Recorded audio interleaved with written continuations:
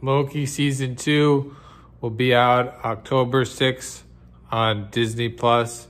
Obviously, the first season was really good. Most of the Disney Plus shows, I'm not really that much of a fan of. Loki's one of them that is good.